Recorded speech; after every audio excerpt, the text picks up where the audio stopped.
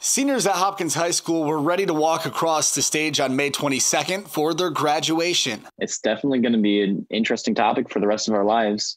Uh, our senior year was taken by the Rona. Obviously, due to the pandemic, that date was canceled, but now an unsuspecting stranger is making them feel loved during this tough time. It was really nice of her. I mean, it brought some joy into our lives for a little bit, and it was nice of her to appreciate the class of 2020. Mail carrier Elise from the Dorr Post Office delivered handwritten cards in the seniors' mailboxes, all with a personalized note. I opened it and I was like, oh my gosh, this is so sweet. I have never met her, but she's still thinking of all of us. She's still doing her job, she's still working hard, and she's still showing way to appreciate all of us. The seniors say that they've never even met Elise, which makes the cards that much more special. Isn't that sweet?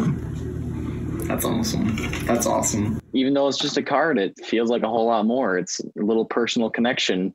Uh, somebody that you've never met going out of their way to do something amazing for you. Now, in this age, you get a text or something on Facebook or just something from the internet, and then someone delivering a card to you it just makes it more special. For the seniors who have lost so much over the past few weeks, it was a glimmer of hope and positivity. Like a flashlight in the dark room, letting me see the path forward.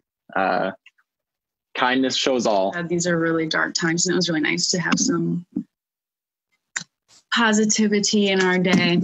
To some, it may be just a card, but to these seniors in Dorr, it meant everything. Thank you, Elise.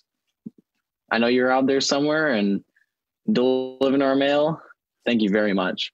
Reporting from Allegan County, Zach Herrick, Fox 17 News.